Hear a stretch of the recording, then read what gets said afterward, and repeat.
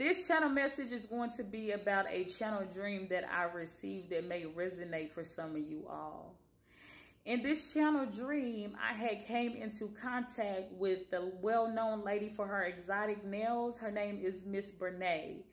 Y'all, I had went to her for a wig install, and if y'all know, she does her hair online as well as she talks to her followers.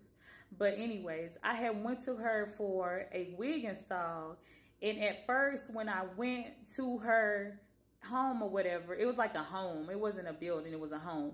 When I went to the home that she was at and she was doing my hair, it just dawned on me. And I was like, you're that one well-known content creator for your exotic nails. And we got to talking and taking pictures. And I got to explain it to her, the things that I was trying to accomplish and things like that. And I say that to say this some of you all are getting ready to come into contact with celebrities that are going to take you to the place that the Most High is getting ready to put you guys at financially.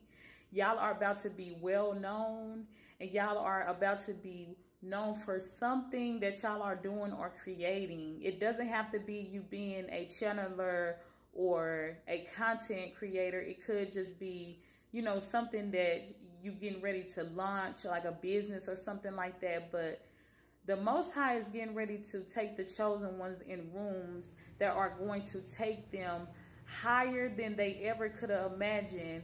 And y'all are about to be financially stable. You guys mark my words. Y'all save this video and y'all come back to me whenever this happened to you all.